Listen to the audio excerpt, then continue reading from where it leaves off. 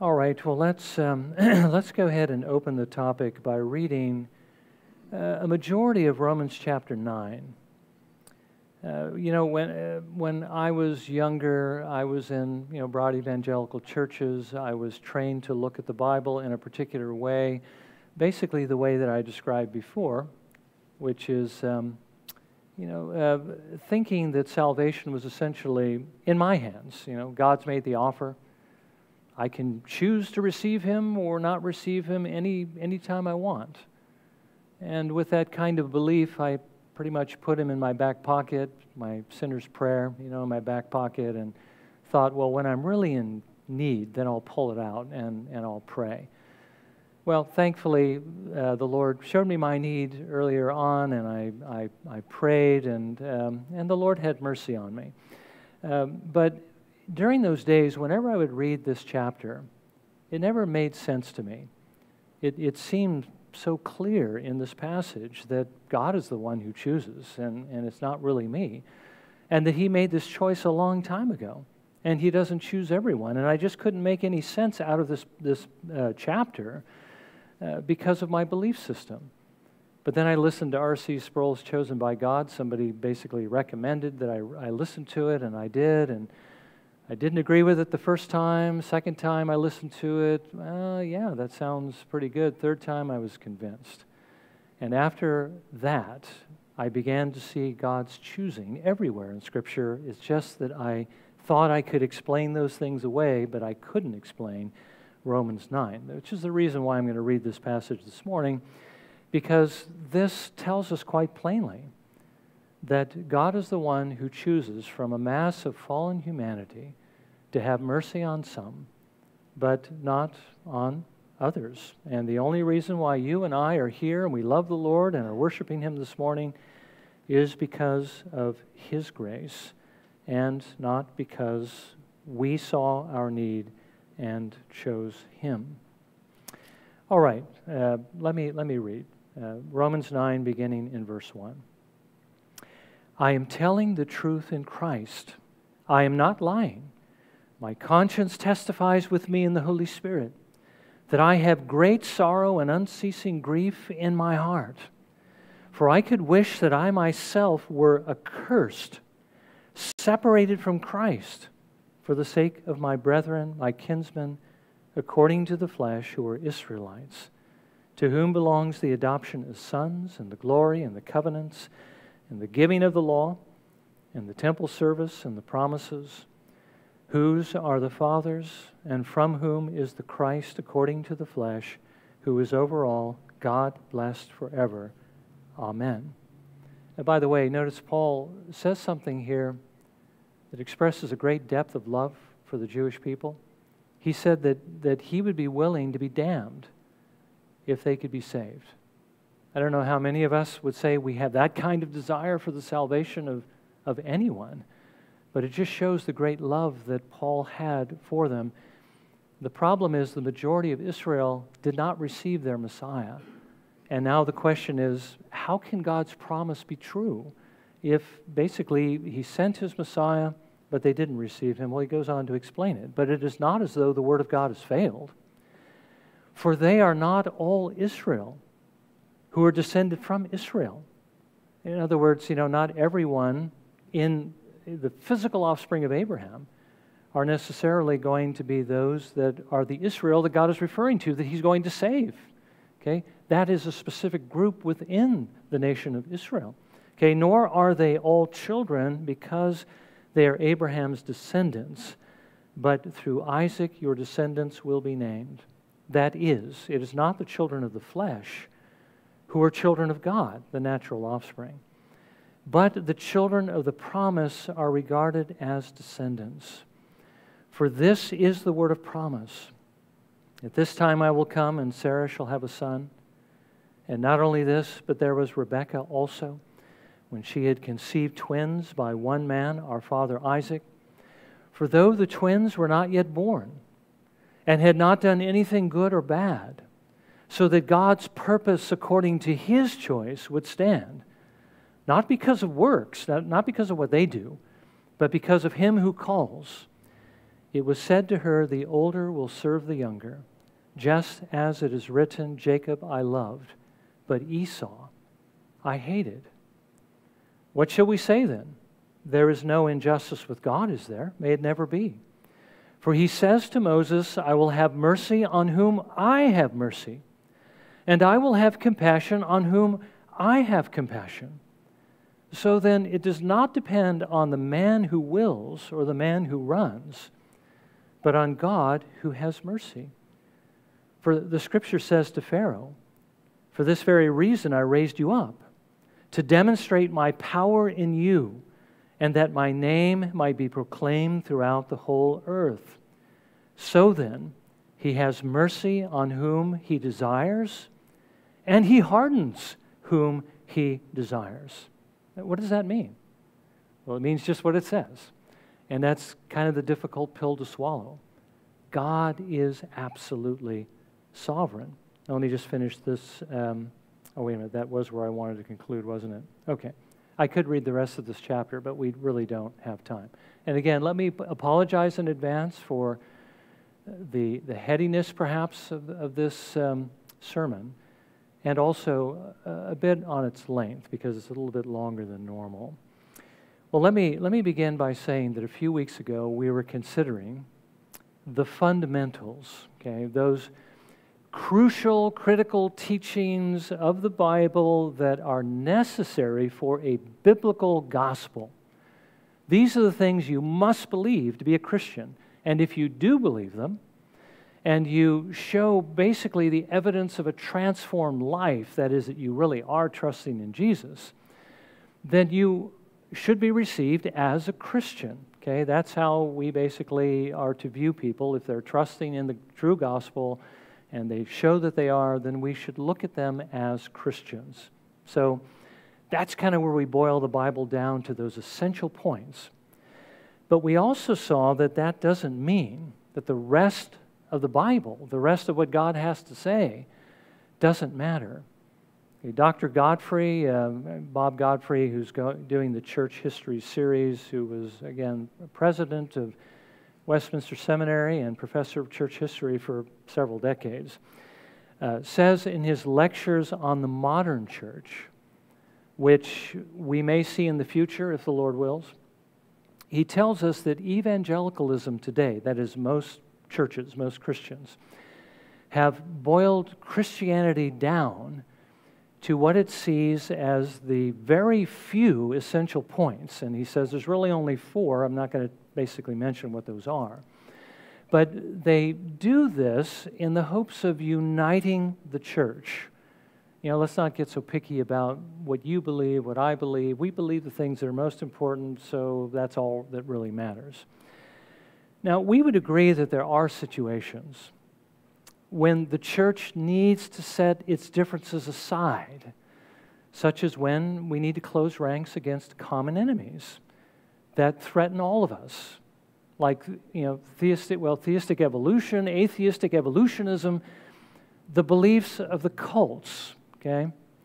And some would argue, and I think they're probably right, that there are times when we should even set aside we might even say the fundamentals, to close ranks even with Rome or with the Mormons on such matters as abortion and homosexuality, because we all agree that those things are moral evils. So we can unite against certain enemies. But apart from situations like this, we need to understand we should never feel free to set aside anything that God teaches us in His Word because everything He says is important. All of it is for our well being. R.C. Sproul reminded us this past Wednesday evening that if we would have a righteous relationship with God, and that means a right one, you know, we're doing things right, and have a right relationship with our brothers and sisters in Christ, and have a right relationship with the world, we have to believe and submit to everything God says in the Bible. Now, I want to emphasize this because what we're looking at, you know, today and next week, you know, Godfrey this evening is going to give us a glimpse into a controversy that split the Dutch Reformed Church in the 17th century when the followers of Jacobus Arminius, who was a professor of theology at Leiden University, submitted, now the followers, Arminius was dead by this time, but his followers submitted a document to the government called the Remonstrance, asking for the freedom to teach five things that were against the beliefs of the Reformed churches. Now, these are the five teachings of the Synod of Dort. The, the five teachings the Synod of Dort will later rebut or refute, and you know, uh, which will come to be known, or I should say, uh, uh, called the five points of Calvinism. By the way, uh, Godfrey is going to emphasize when he deals with this that this does not summarize what John Calvin believed. This does not summarize what the Reformed churches believe. These are just five uh, Reformed answers to five Arminian objections. So, what I'd like to do uh, this morning, what I'd like to begin this morning, is an examination of those five points of the remonstrance. Not only uh, to understand what they teach, uh, since these points are, as I've said before, are widely held by a majority of churches today, but also why it's important that we believe and embrace the five counterpoints of the Synod. Now, again, only because they're biblical, but uh, that we need to embrace those. It's important to our relationship with God it's important to have a right relationship with Him, to give Him the glory that belongs to Him. So today, I want us to consider their view, that is the remonstrance view, on human depravity. I mean, just how bad are we after the fall? And God's election, His choice, and contrast that with what the Bible says. And, and next Lord's Day, we'll conclude with their views on the atonement the Spirit's work in bringing us to Christ, and on perseverance. We are going to touch probably on uh, some of these things as well this morning. Now, let's begin with their view on human depravity. This, this isn't where they began, but I think it'll help us to start here. Because once we see what the Bible has to say about our condition after the fall, we'll understand, I think, more clearly why the basically the, um, the counterpoints, I'm just going to call them, you know, the, the, the five points of Calvinism, why those things must follow. Now, the one thing I think most people don't understand is that these remonstrant Arminians actually agreed with the Reformed Church on man's condition after the fall, on what he is like. Now, listen to what they write in Article 3. I'll try to read it as, as in a way that we can all follow. Okay.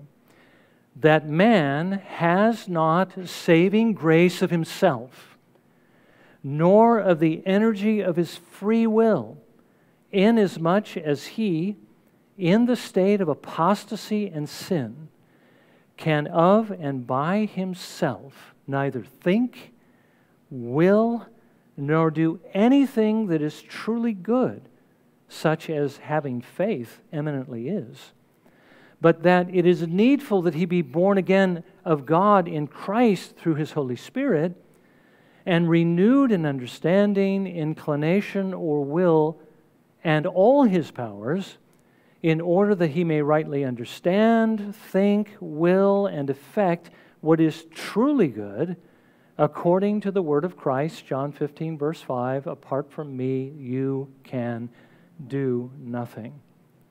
And by the way, I mean, this almost sounds like somebody who's reformed could have written this because we agree with this, don't we? Now, this is not what we typically think of or understand as the Arminian view, at least the view of the majority of churches today. Most evangelical Christians today see man, see us, as not quite totally depraved. That we haven't lost all of our moral ability, we haven't lost all of our love for what is good. We're, we're dangerously sick, we have very little strength, but we still have enough to reach out in faith and to take hold of Christ as he is offered to us in the gospel. Now, that's the, the belief of a majority of churches today. Now, the remonstrants didn't believe that. They believed that apart from the grace of God, we can do nothing good. We can't even believe in Christ, which they said would be truly good. We must first be born again of God in Christ through his Holy Spirit. Now, they explain this a little bit further in Article 4, which we're going to read uh, or look at a little bit more fully next week. Listen what they say. That this grace of God is the beginning, continuance, and accomplishment of all good, even to this extent that the regenerate man himself, without prevenient or assisting, awakening, following, and cooperative, uh, cooperative grace, can neither think, will, nor do good, nor withstand any temptation to evil, so that all good deeds or movements that can be conceived must be ascribed to the grace of God in Christ. So their two main points are we're dead in sin, and we can't do anything good. We need the Spirit. That's the only way we will ever do any good. By the way, as I said before, this is what John Wesley held. John Wesley, I hope everybody's familiar with John Wesley. He was a great evangelist. He lived during the time of George Whitefield and Jonathan Edwards, and many people came to faith in Christ through him. Well, he had a very high regard for Arminius. He believed that everyone is depraved as they come into the world, so they cannot trust savingly in Christ. So now, how can anyone then come to faith with a view like this? Well, this is the second point. God has chosen to give everyone prevenient grace, a grace that comes before faith, a grace that basically makes you alive enough to be able to choose Him. Now, this help of the Holy Spirit does not save you by itself but it enables you to believe so that you may make a choice, one way or the other, for Christ or against Him. Now, there are going to be some who do choose Him and some who don't choose Him. Those who choose Him and persevere to the end will live, and those who choose not to, to receive Him will eventually perish. Okay, now that's the view of, of the remonstrance. We're, we're dead, but God gives to everyone His Holy Spirit to enable us to believe. Now, what do we believe? Well, we agree that we are totally depraved. As I said, you know, no, really, no Calvinist could write a better statement of total depravity than what the remonstrance wrote, okay? We are totally depraved, and so we cannot, because we don't want to, receive the Lord Jesus Christ apart from God's grace.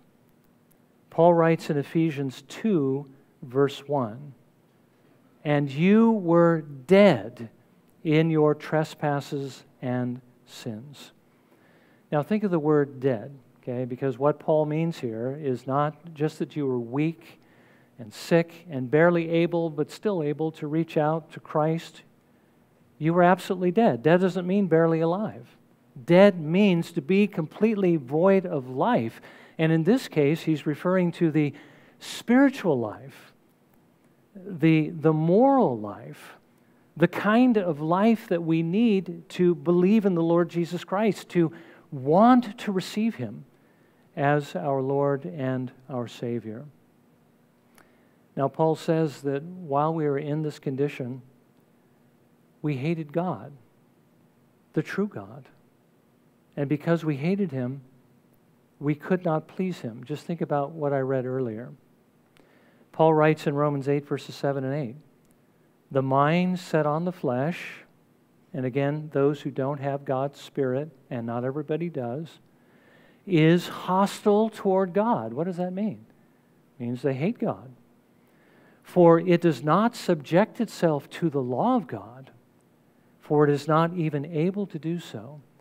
And those who are in the flesh cannot please God. Okay? So we agree that man is dead in trespass in sin, absolutely dead. He cannot receive the Lord Jesus Christ because that's plainly what the Bible says. Now, we also agree that God has to give us His Holy Spirit, therefore, before we can come to Him. Jesus said to those Jews who were following Him on one occasion, after He had fed them with the loaves and the fish, um, no one, he says in John 6:44, no one can come to me unless the Father who sent me draws him. Now, why did Jesus say that to those Jews who were following him? It's because he knew that they were following him only because he fed them and only because they wanted more. Okay, they wanted him to feed them a second meal. But Jesus knew what was in their hearts, and so he encouraged himself by saying, realizing these people were not there for him. He said, No one can come to me unless the Father who sent me draws him. Now, that word can refers to ability. No one has the ability to come to Jesus because of what we just saw. Because by nature, as we come into the world, we actually hate him. Now, Jesus said, No one can come to me unless the Father who sent me draws him. Okay? The Father's drawing, the word there essentially means to drag or to coerce. Now, Jesus isn't saying that the Father has to force us against our wills to come, but that He must change our hearts by His Holy Spirit so that we come to Him willingly. Okay, so we agree on these two things. We're dead, and God must give us His Holy Spirit before we will come. But the thing we disagree on is that He gives His Spirit to everyone. I mean, we already saw Paul making this distinction in Romans chapter 8 between those who have the Spirit and those who don't have the Spirit, and how each of them behave. So, how can you say, or how can anyone say, God gives to everyone His Holy Spirit? He clearly doesn't. That's what we disagree on. He only gives the Holy Spirit to those whom He has chosen. Now, this brings us to our second point. God must choose whom He's going to give the Holy Spirit. Now, these remonstrants believe that God, you know, they believe that God made a choice. First of all, He chooses to give His Holy Spirit to everyone so that they can believe, as we've seen. But then He chooses those who choose him. Those he foresees will receive his Son and persevere to the end. Now, again, this is what the majority of evangelical Christians, evangelical Arminian Christians, believe today. God looks down the quarters of time, he chooses those who choose him. Listen to what they write in their first article. This is where they actually began. That God, by an eternal, unchangeable purpose in Jesus Christ, his Son, before the foundation of the world, has determined out of the fallen, sinful race of men to save in Christ, for Christ's sake, and through Christ, those who, through the grace of the Holy Ghost, shall believe on this his Son, Jesus and shall persevere in this faith and obedience of faith through this grace, even to the end. And on the other hand, to leave the incorrigible and unbelieving in sin and under wrath, and to condemn them as alienate from Christ according to the word of the gospel in John 3:36. He who believes on the Son has everlasting life and he that does not believe in the Son shall not see life, but the wrath of God abides on him. Okay. Now, again, there are things here that we can agree with and things we don't agree with. We believe that he gives the Holy Spirit to enable us to believe. But we don't believe that he gives the Spirit to everyone. He gives the Spirit only to the elect, to those whom he has chosen. Now, he tells us through the Apostle Paul, God does, that he chose to save some in eternity. Now, it's probably not right to call this a choice because God knows eternally what he's going to do. He doesn't really make choices. It's better to call this his eternal purpose. This is what he has always willed to do. Paul writes in Romans 8:29, "For those whom he foreknew, he also predestined to become conformed to the image of his Son. By the way, being con, uh, predestined to be conformed to the image of his Son means that he's predestined us to salvation. Those whom he foreknew, he predestined to salvation. Now, again, Arminians, the remonstrants, believe that this passage actually proves their point. God predestines to salvation everyone he foreknows or foresees will choose his son. Those whom he foreknew, he also predestined. Now, the problem with this is they're looking at it, I think they're reading into this text as though what God foreknows is the choice they're going to make. But that's not what Paul is saying here. He's saying not, you know, for, well, how does he put it here? For those whom he foreknew were going to choose him, he predestined to become conformed to the image of his son. But he says, those whom he foreknew, those whom he foreknew. This word, um, you know, again, it's not what he foreknew, but whom.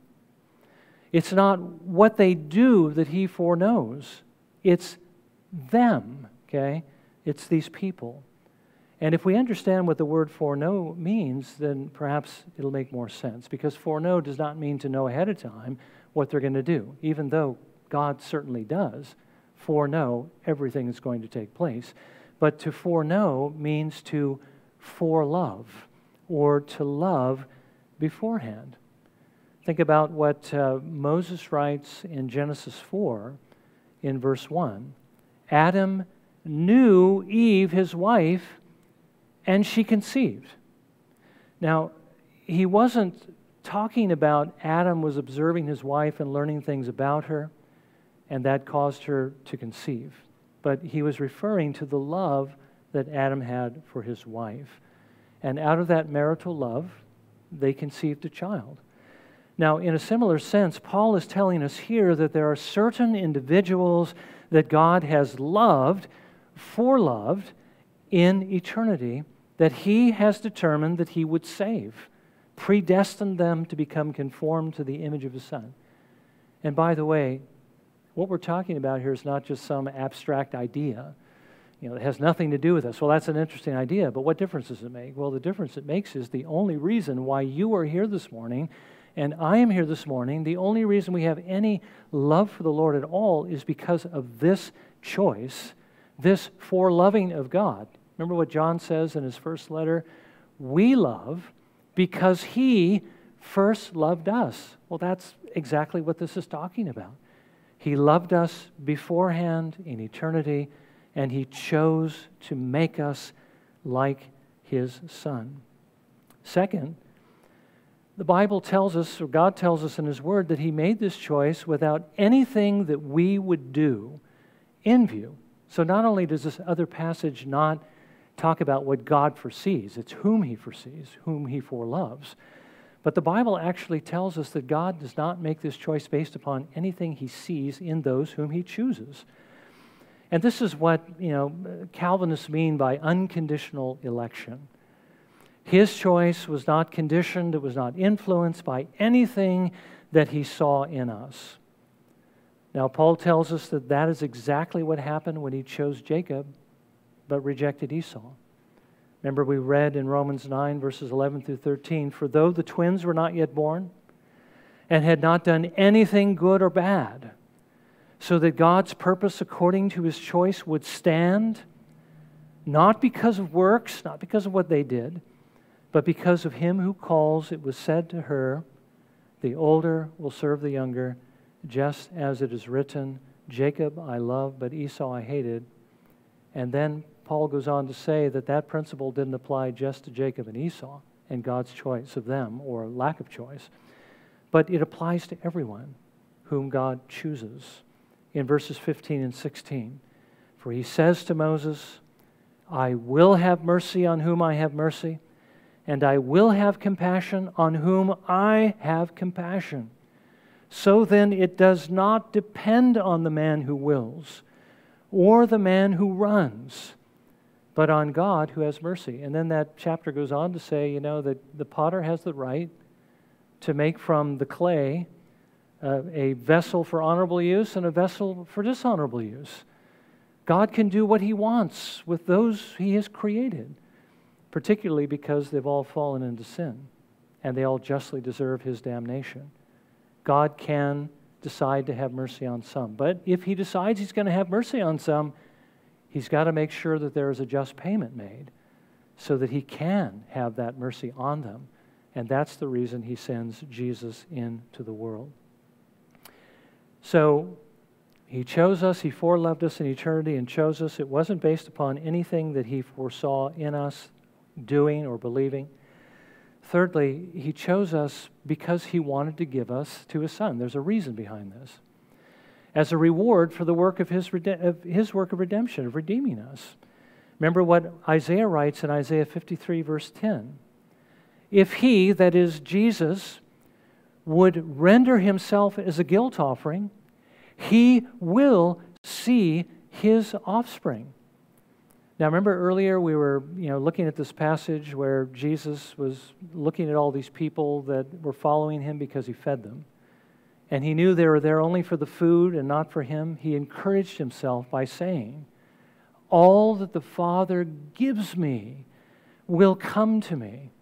Right? Well, What's he talking about? Who are these people the Father's given to him? Well, it's those referred to in Isaiah, those he would receive as the reward for his work. Now, these people who were following Jesus might have been following him for the wrong reasons. They just wanted food. But Jesus is saying there will be those who will come to him with the right motives. By the way, you know how that um, chapter 6 of John ends. Jesus says, You have to eat my flesh and drink my blood, or you have no life in you. And then they said, Well, how can this man give us his flesh and blood to eat and drink? And they didn't understand it. And he says, you know, Does this cause you to stumble? What if the Son of Man should ascend to where he was before? And all the people left. They left. You know, we think about effective evangelism as you, you preach a message and people come. But Jesus spoke some pretty hard truths, and he didn't even bother to explain them. He just knew that if there was anyone there that was his, that they would stay. And how do we know that? Because he turned to his 12 and he says, You don't want to go away, also, do you? And then Peter says, Lord, to whom else can we go? You alone have the words of eternal life. And then he goes on to say, We believe that you are the one that God has sent. And then Jesus said this Have I not chosen you, the 12? And yet one of you is a devil. So, this idea of choice why did they stay and the rest left? It's because of choice. God made a choice to give these to him, except for Judas. Okay? And Jesus knew that there would be others who would come to him. All that the Father gives me shall come to me. And then he goes on to say, The one who comes to me, I will certainly not cast out. If you come to Jesus, he will not turn you away. Now, fourthly, the Father brings these that he's chosen to Jesus by giving them his Holy Spirit. That's how he brought us to him. He gave us his Spirit to open our eyes to the kingdom. And that's what Jesus means when he says to Nicodemus in John 3, verse 3 Truly, truly, I say to you, unless one is born again, he cannot see the kingdom of God. Jesus goes on to say that the Spirit of God is like the wind who breathes where he wills. You, you hear the sound of it, you don't know where it comes from or where it's going. So it is with everyone who is born of the Spirit. Not everybody is born of the Spirit, but those who are see the kingdom of heaven in Christ and they come to him. Now, fifthly, the Spirit gives us the ability to hear Jesus and follow him. Jesus says in John 10, verse 27, My sheep hear my voice, and I know them, and they follow me. Okay? These sheep are the ones that the Father has given to Jesus, the ones who will come to him. He talks about gathering all these sheep into one fold. And then Jesus also finally makes an interesting comment to those Jews from Jerusalem who would not believe. And he tells them they do not believe because they are not of the sheep. The sheep being those the Father has chosen to give Jesus, those who will come. My sheep hear my voice, they follow me, and so forth. He says this to those Jews who resisted him You do not believe because you are not of my sheep. Okay, if you are of my sheep, my sheep hear my voice and they follow me. You're not listening to me and you're not following me. That means you're not of my sheep. And that's the reason you don't believe, you see. It, it, it basically puts God at the forefront as the one who makes the choice, because if God had chosen you to be one of his sheep, you would believe. So the point is this God did not look down the quarters of time in eternity. See that we, with the help of His Holy Spirit, would believe, that we would work diligently to put off our sins and to put on the Lord Jesus Christ and become holy in the Lord Jesus Christ, and that we, by His grace, would persevere to the end and then say, Oh, that's the one I want. I want the one who's going to make it to the end. I don't want the rest of those people that fall away. Because if the Lord had looked ahead at all of us, he would have seen everybody fail and everybody would have ended up basically in, in hell. Okay, that's not what happens. He chose us in eternity to give us the Holy Spirit so that we would believe and by His grace become holy and would persevere to the end and be saved. And again, this is the, the reason for that meditation at the very beginning. Paul writes in Ephesians 1, verse 4 He chose us in Him before the foundation of the world that we would be holy and blameless before Him. It's His choice that makes us holy and blameless. It's not our choosing Him, becoming holy and blameless, that makes Him choose us. Do you see the difference between those two views? God does the choosing. Now, there's still, you know, so much we need to look at, and we're going to have to do that, of course, next week. But this morning, let's again remember that this is what it means to be saved by grace through faith alone. I hope we all understand that. We are all saved by the grace of God alone. By the way, Remonstrants believe that. Roman Catholics believe that. You know, I think, um, well, every, every evangelical believes we're saved uh, by, by grace alone, or at least they think they do. But the question is are we saved by faith alone? Do we receive that grace by trusting in Jesus alone? This is the only view that actually protects that because when you think about the Remonstrants' view, God looks down and He's, okay, the Holy Spirit gives you help. And then you've got to trust in Jesus. There's something for you to do. You've got to trust in Him, and then you have to hold on to Him. Then you have to put off your sins. Then you have to put on Christ, and you have to make it all the way to the end. Sounds to me like there's a lot of work for you to do in that view. The same thing with Rome. You know, Rome believes you have to receive grace through the sacrament, then you have to cooperate with that grace and do work, and you have to keep getting more grace. And as you work and become better and better, eventually God will declare you to be righteous and He will justify you. Most people don't make it, so they have to go to purgatory for a billion years or so. But they eventually make it to heaven if, if they have at least some grace. Well, that, there's a lot of works involved in that. But you see, for salvation to be by grace through faith alone, there can't be any of our works when it comes to our salvation, our justification. It has to be purely the work of God. So, how does this make it purely the work of God? Well, it ensures us that we're saved only by what Jesus Christ has done. And we are enabled to believe only because God gives us His Holy Spirit to enable us to believe. And our believing is not a righteous act by which God credits us righteousness and declares us to be righteous. But our trusting in Jesus is receiving Him and all of His righteousness and His forgiveness. And that reception of Christ is what justifies us because now we are clothed with Jesus, with His perfect obedience. And our sins are taken away by that sacrifice He made on the cross so many years ago. Salvation is from first to last of the Lord. Now, we still, by God's grace, are transformed. We still become more and more like Jesus. We were predestined to become conformed to the image of Christ, Paul says. But that's a work God is doing in us. It, it's a work that takes place after He gives us the Holy Spirit, after we are justified, after we are saved.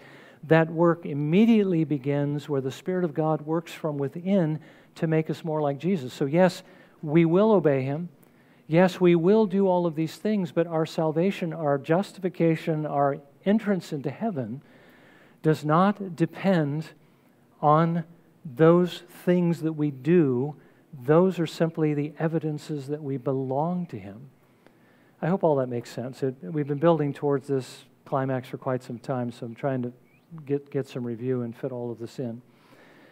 But the point is, this is God's work alone, and so we really do need to give Him all the glory. Our salvation is all of Him and none of us. The only reason that we believe and that we are growing in holiness and will persevere to the end is because of His electing grace, His grace which He chose to give to us in, you know, from all eternity. So He deserves all the glory. We just need to make sure we give it to Him, give Him the credit, and not take any of it for ourselves. Well, let's, let's bow in a moment of prayer, and um, then we'll prepare to come to the, uh, to the table this morning.